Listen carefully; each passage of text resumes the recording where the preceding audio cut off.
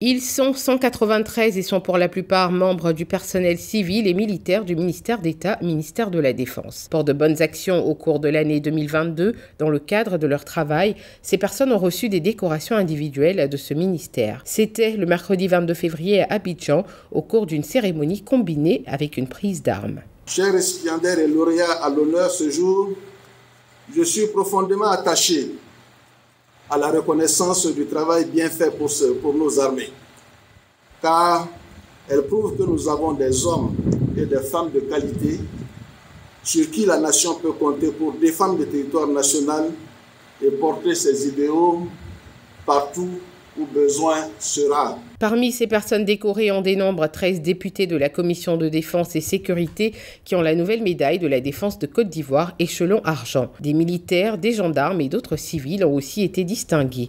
Ils ont reçu l'ordre national, l'ordre du mérite et la médaille des forces armées. La joie de recevoir des honneurs de la nation pour le travail fait était grande chez les récipiendaires. En recevant ce prix et cette distinction honorifique, qui salue et récompense un parcours professionnel riche et diversifié, nous mesurons la grande marque de considération qui est faite à notre égard.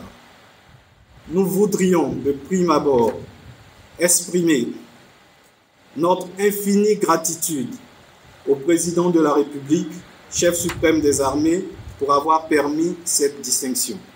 Une remise des clés de 45 véhicules pour accroître les capacités opérationnelles de l'outil de défense nationale a mis fin à la cérémonie.